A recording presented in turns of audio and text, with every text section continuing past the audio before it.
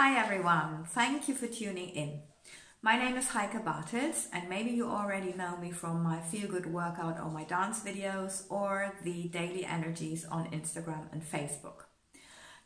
It's time for a new energy update and as you might have noticed again, it is very intense as the opposing energies I mentioned in my last energy update are still ongoing and it's so interesting because they are not only intensified by the 1111 portal that we've got tomorrow, so please expect intense emotions and don't get upset, it's all fine, you're human. But also, the new moon on Sunday, November 15th, which is actually happening not only as a super new moon, the third one in this year, so a bigger thing than normal. Everything is a bigger thing than normal. But also, it is happening between two fixed stars, and those stars could not be more different in characteristics.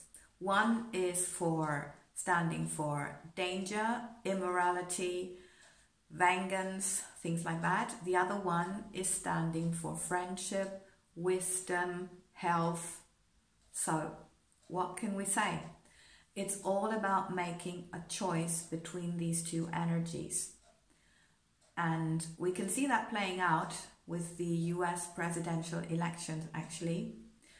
And yes, this new moon has a big potential for success and fortune, but it's really about the choice that you are making. Are you choosing long term ethical moral goals, then you will have lasting success, happiness, and personal growth or evolution. Or are you going choosing to go the other way? And then, of course, it will lead to misfortune and maybe nicest, nicest one, disappointment. So it's really all about that.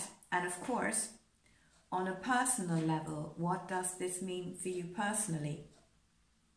Well, it means that we have a very we're going to have a very emotional week and allowing yourself to feel all the range of emotion, knowing that this is your human journey and what your human journey is about is actually the first step. And then trying to not judge yourself knowing that you are not your emotions, you are not your thoughts. It's just your personal help, it's your navigational system to help you through this journey to find your personal path, to make the choice that's right for you between these two that I've mentioned before. So, actually, it's all about essentially about reminding you that your strength and your power lie within, and that you can always access this strength and this power which comes from you, uh, from your Creator to you. So, this is what you really are, and it's not about everything that's going on around you. This is actually what we can practice in this week and what we need to practice and to be aware of to get through this. So do whatever you need to do in your daily life best you can and make those choices best you can and everything will be fine. However strong the storm is, it will be around you. So, lots of love and strength.